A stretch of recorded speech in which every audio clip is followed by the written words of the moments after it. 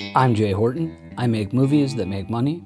This is how. Investors, the unicorns of the indie film world. Where do you find them?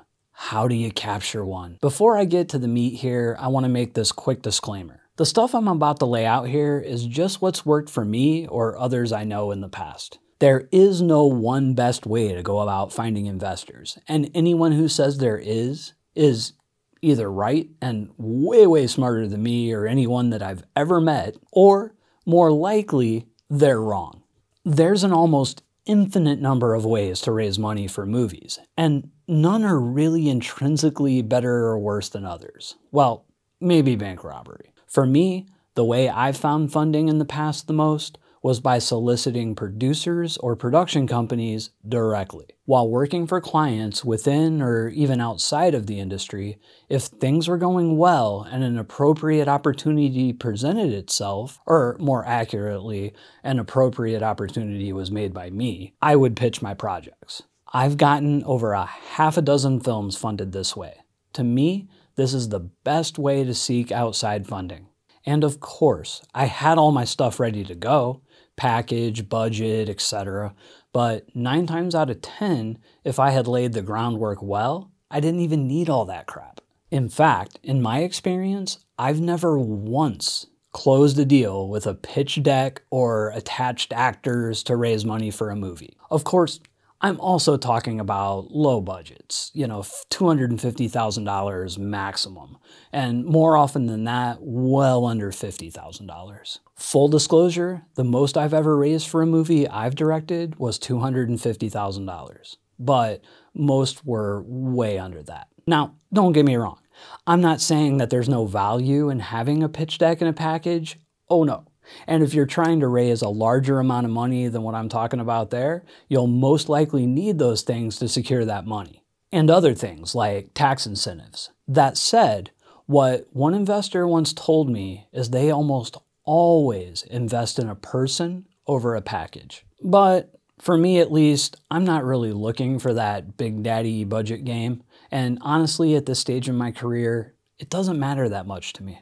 I'm perfectly content making lower budgeted stuff and making my living from that. That's enough for me. And I'm at a point now where I can finance my little movies on my own. I almost never seek any kind of outside funding anymore. And my advice is to try to get to that point. Less owners or partners equals less headaches, equals more happiness, and more overall profit. But that's not the boat most are in. So, where are other filmmakers finding their money? Film maker tips. Nobody's going to tell you that. If they told you, they'd increase their competition to get funds. Duh. I struggled a bit over whether to respond to this one at all, but how fucking small minded can you be? Filmmaking is not a competition, and thinking of it as such is nothing but a recipe for unhappiness and failure. Now, would I give out an individual investor's name or company who is investing in me? No, of course not. But sharing general info on the subject, especially if you've had some success with it, is not only something you can do for other filmmakers, you absolutely should. My last film was brought to you by USA stimulus checks and a credit card and savings. The stimulus was super important though.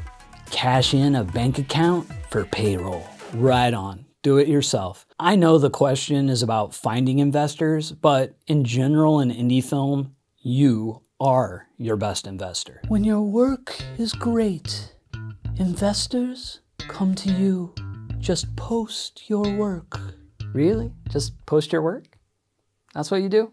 When I look for outside investors, I always have at least 10% skin in the game to let them breathe easier. In fact, on a recent project, I put 50% in, and the producer's rep brought in an investor for the other 50% to get started. Otherwise, it's all local friends or family who ask or show an interest in my previous films. I never cold call, there always has to be that connection of somebody who can vouch for me. Also, the first thing I always tell every new investor is you'll probably lose your money but I can show you how on these projects we actually made a profit. That's great, FYI. I can't name the person, but that last comment is from a very legit filmmaker who's made quite a few very profitable indie movies.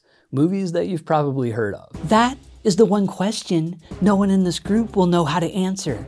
And the few that will know, they won't tell you. And crowdfunding is for family members. Such a bad take. I don't even have a clever retort. It is all about ROI.